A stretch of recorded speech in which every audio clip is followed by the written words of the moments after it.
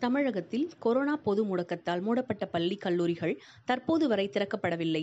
இந்த நிலையில் தமிழக அரசு பிறப்பித்த உத்தரவுப்படி இந்த மாதம் ஒன்பதாம் வகுப்பு முதல் பனிரெண்டாம் வகுப்பு வரை வகுப்புகள் செயல்படும் என்று தெரிவிக்கப்பட்டுள்ளது. இதேபோல் கல்லூரிகளும் திறக்கப்பட உள்ளன. பள்ளி கல்லூரிகள் வரும் பதினாறாம் தேதி திறக்கப்பட உள்ள நிலையில் இது குறித்து அமைச்சர்கள் நேற்று பள்ளி கல்லூரிகள் திறப்பதற்கான ஏற்பாடுகள் குறித்தும் பள்ளி கல்வித்துறை அமைச்சர் மற்றும் உயர் கல்வித்துறை அமைச்சர் இன்று உயர் அதிகாரிகளுடன் தலைமை செயலகத்தில் ஆலோசனை நடத்தினர்.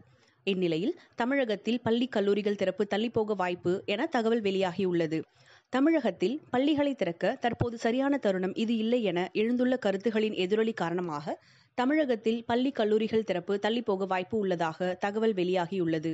மேலும் கொரோனா பரவல் பருவமழையை கருத்தில் கொண்டு பள்ளிகள் திறப்பை தள்ளி வைக்க அரசு பரிசீலனை செய்து வருவதாகவும் கல்வித்துறை உயர் அதிகாரிகளுடன் தமிழக முதல்வர் நேற்று திடீரென ஆலோசனை நடத்தியதாகவும் தகவல் வெளியாகியுள்ளது.